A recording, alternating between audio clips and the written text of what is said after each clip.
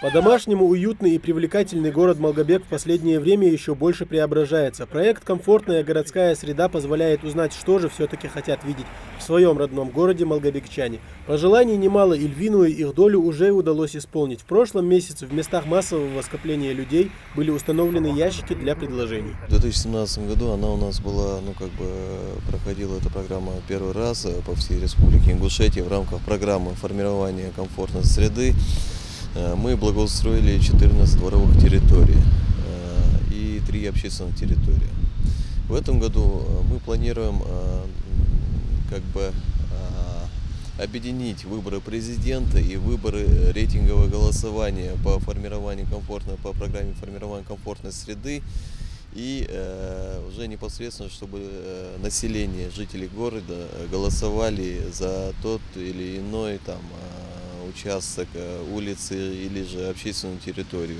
До недавнего времени картина в некоторых малгобекских дворах была, мягко говоря, нелицеприятная. Отсутствие асфальта создавало огромное количество грязи в дождливую погоду, а летом из-под слоя пыли трудно было узнать свой автомобиль. Теперь эти проблемы в прошлом. В числе отремонтированных и дом по улице Базоркина.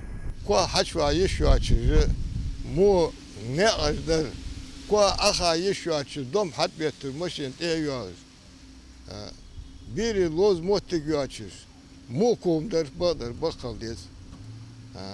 Yere kova o mobiki la niftiyani ko hadiya deyir ko. Masne halşki e, kıçası Kos kalçı, dik kalçı, e, kos getirdiler, hani aç, osmal bağırır, nefti ayıkır, bu pis yer bu. Пожалуй, больше остальных радуются дети. Оно и понятно. Площадка для развлечений и досуга, установленная во дворе, не может оставить равнодушным. Сразу после занятий в школе теперь эти дети не садятся за компьютеры, а выбегают на улицу поиграть в песочницы или покататься на качелях. Раньше у нас не было площадки, мы сидели дома, а теперь у нас появилась эта площадка.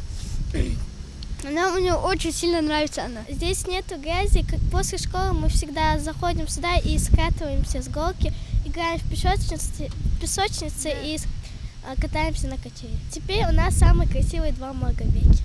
В ДК Малгобека также был установлен ящик для предложений. Одна из первых свои пожелания записала Роза Евлоева. Родной для нее город воинской славы она хочет видеть еще краше и зеленей.